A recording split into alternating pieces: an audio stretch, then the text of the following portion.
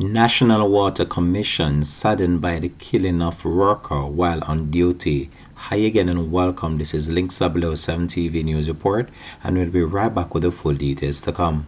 Welcome to Link 7 TV News Report, providing you with the best in local and international news updates. This is a place where you can get the most reliable and informative news information. Link 7 TV News Report.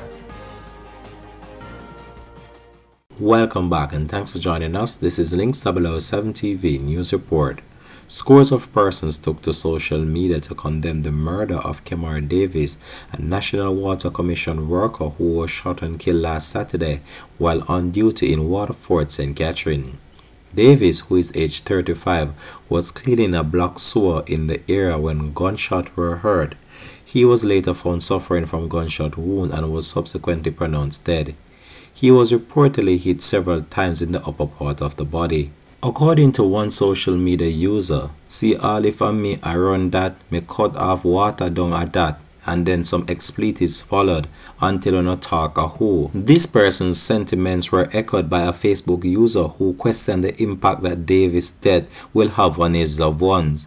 So he was murdered while carrying out his job. What now for his family, the user posted. The National Water Commission, in a release yesterday, said that Davis was passionate about his duties before condemning the gruesome act and offered condolences to his family and friends. The killing of Mr. Davis is a sad reminder of the risk and danger faced by some of our members of the National Water Commission team in executing of their daily duties in the service to the public, said a company spokesperson in a statement.